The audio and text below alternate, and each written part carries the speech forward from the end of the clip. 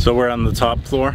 Uh, we have a DJ booth that could uh, stand having three samurais fucking on it. Uh, we have uh, a structure that would be good to uh, to put uh, uh, to put some kind of covering over to make a little a little tent for the DJ to work.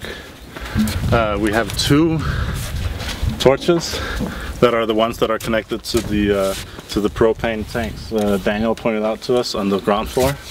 There's a uh, there's an uh, an operating trigger right there uh, that fires off both of them, and behind you, a dig- digitally controlled, uh, much bigger um, uh, flamethrower.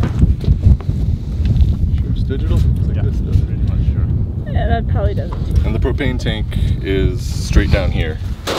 So it's on the it's on the back deck. It's got its own little crate, so we'll have to check to see how full that is and what we need to do with that.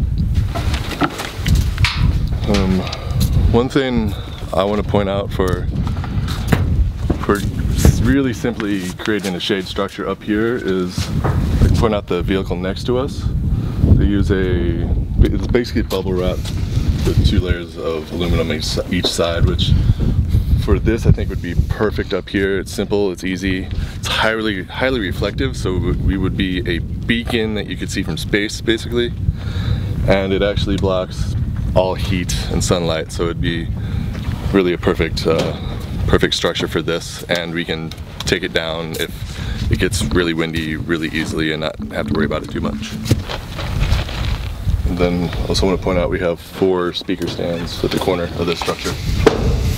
And off at the end of this we have another 11 and a half foot long pike spike that we can we can decorate with. This is where the last post for holding the lights that went down the center line of this thing went, where the, the post went up. The other one was right on top of here. And the next one was obviously on top of that, uh, the archway down there. And then the last one was adhered to the end of the railing. And yeah, we have we have all of those, so we can we could do that if we wanted to again.